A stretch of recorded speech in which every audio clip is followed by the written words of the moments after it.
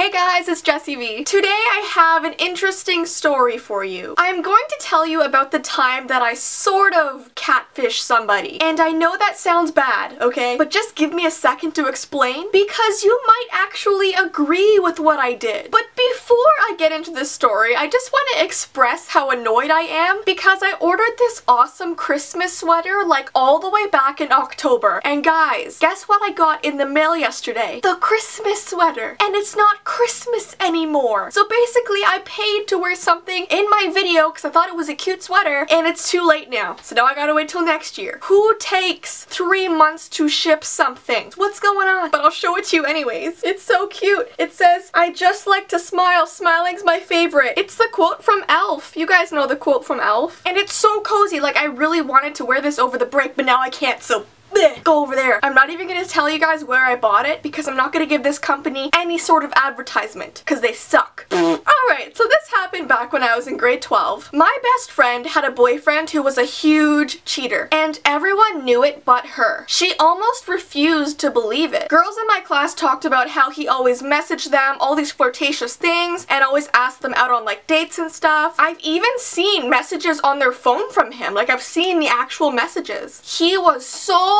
disgusting. He literally had no respect for his girlfriend who happened to be my best friend. And you know when someone's hurting your best friend and you just want to call them up and be like, Hello, I will find you, and I will kill you. Actually, at one point, he even asked me out on a date. He was like, What are you doing on Saturday? You busy? Wanna chill? Wanna hang out? If you know what I mean. And I was like, did you really just ask me that? Do you realize in your tiny brain that your girlfriend is my best friend and I will tell her what you just told me? But honestly guys, I had sat her down so many times to talk to her about what a horrible guy her boyfriend was, but she just didn't really believe me. I was like, he asked me on a date. If that's not cheating, I don't know what is. Who knows how many other dates he's been on with girls? Why are you still with him? And her response would always be like, No, he loves me. He loves me. All the girls who are talking about him are just jealous. They want to be with him. And I was like, no, that's that's not it. No. I honestly think that she had fallen in love with him or just kind of fell in love with the idea of him because he was a really good looking guy. He was like on the football team. He was like the guy everybody wanted. So I don't know if it was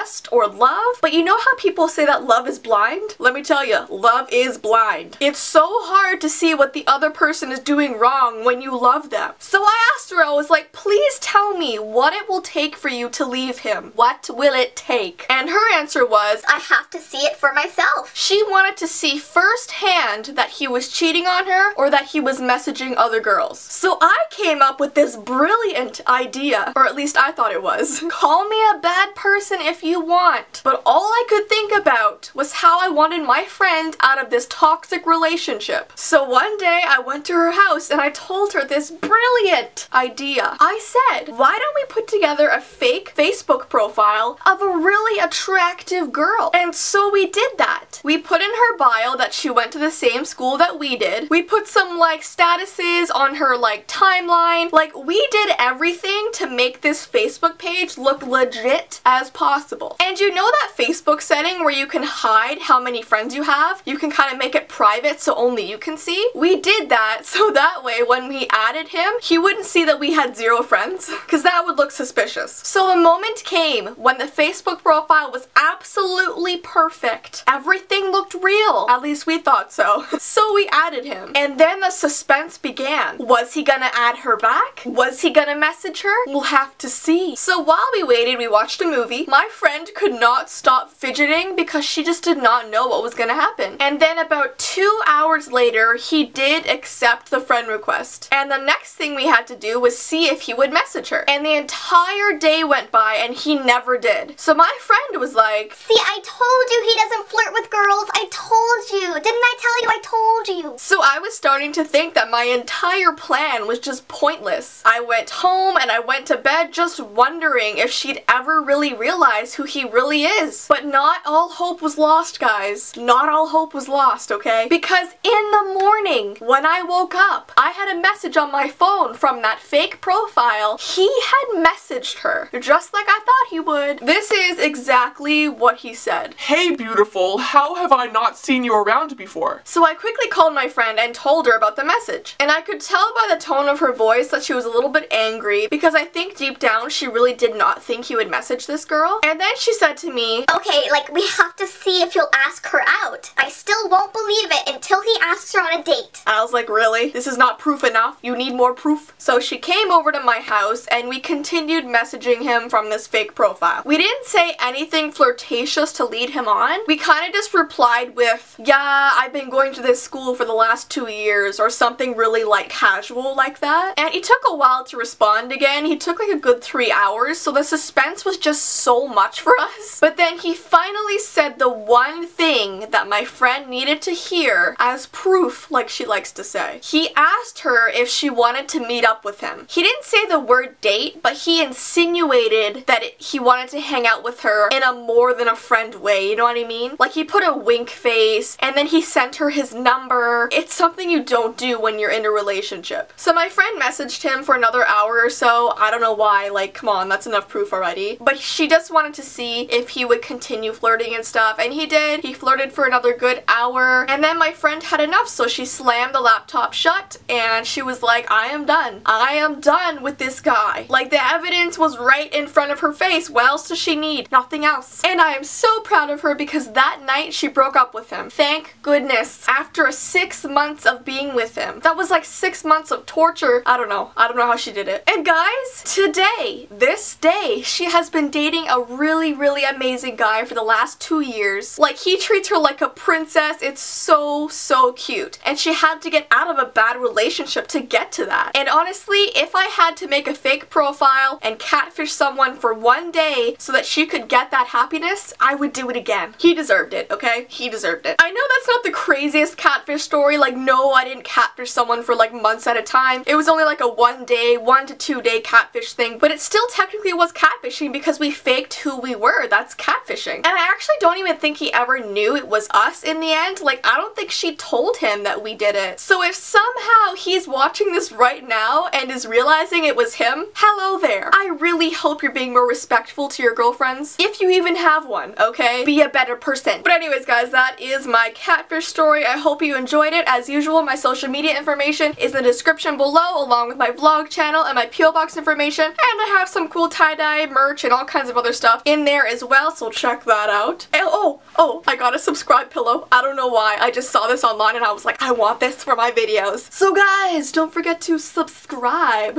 I love this. It's so soft. Okay, anyways, guys, bye.